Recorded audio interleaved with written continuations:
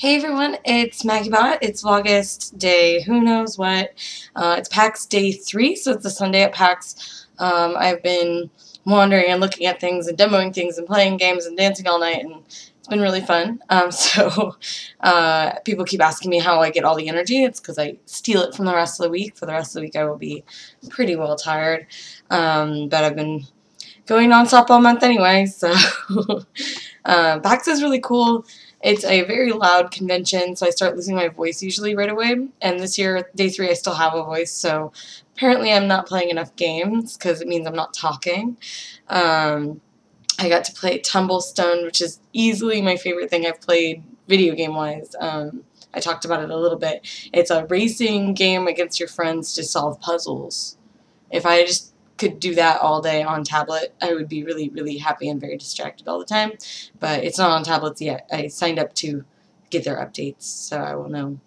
Um, for board games, we I had card games with me the first day. I brought like Koi Pond and um, Dead Drop and some other like light card games that would fit in my backpack. And we played well into the night for that one. We got kicked out of the convention center uh, after hours because the people wanted to go home. Um, the second day, yesterday, I brought a lot of card games with me. I brought Koi Pond again because I really wanted to teach it, and um, Codenames and Mottainai and a bunch of other stuff, and didn't end up playing a single one of those, but I ended up in the prototype hall and played some games there. Played Kaiju City from Levi Moat. I previously did Ruse. I I knew I knew him because we speak on Twitter so much. And I sat down and I'm like, you know what? I have no idea what you designed before this. He mentioned Ruse, and I was like, oh, okay, I've, I've heard of that. Yay! I've never played it, though. Um, Kaiju City was like a monster fighting game. You kind of, you spawn on a card on one side, and they spawn on the other side, and you have to get to each other and kill each other.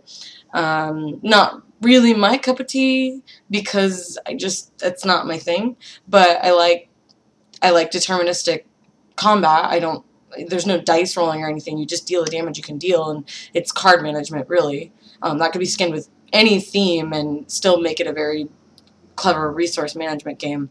Uh, we talked a little bit about what could change before it goes to print, and we both liked the idea of maybe tiles instead of cards to create the city, um, because whenever you use cards as a board that you have to create, it just makes a game feel a little bit cheap. And he's doing, like, he's going all out on the miniatures, like the, the monster, the fighting monsters. So I think tile tile would actually enhance it a lot. And we talked a little bit about the symbols in the game. Um, they were totally prototype symbols. I just let him know that I appreciate when people go for intuitive generic symbols for damage, health, shields, those types of things, because it's just so much easier to jump into a game um, than trying to remember the new the new symbol that they have there.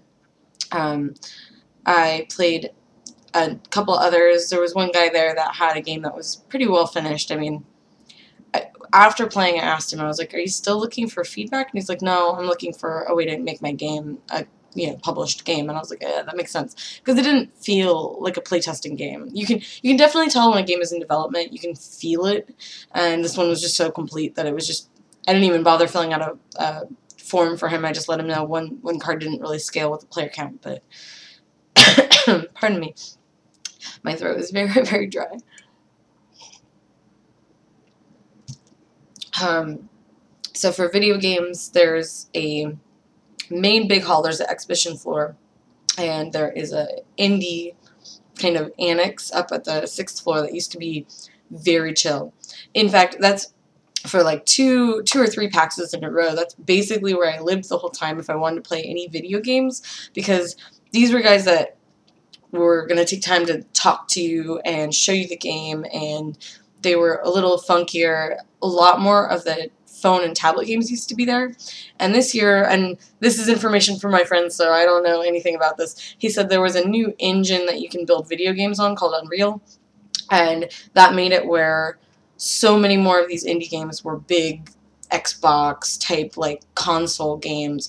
I was kind of sad there's so few tablet games this year, um, but that's how I video game. I don't video game at all on console or on my computer. I just don't have time for it.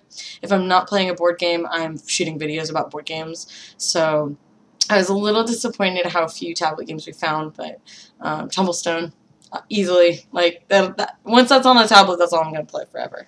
Um, for board games, uh, I, I meant to spend the day wandering the board game hall and um, seeing some friends and checking stuff out. There's not, there's no premieres or anything. There's zero premieres at PAX, but um, I kind of got kind of peopled out. There's just a lot of people there on a Saturday, so instead I hid and went to lunch with friends and hung out with Brian a bit. And for the evening, we went to the PAX um, Magic Party where they do uh, some previews for the upcoming set. So in Battle for Zendikar, there are um, pretty cool duals. I People are so snarky about them. They come into play tapped unless you have two basic lands.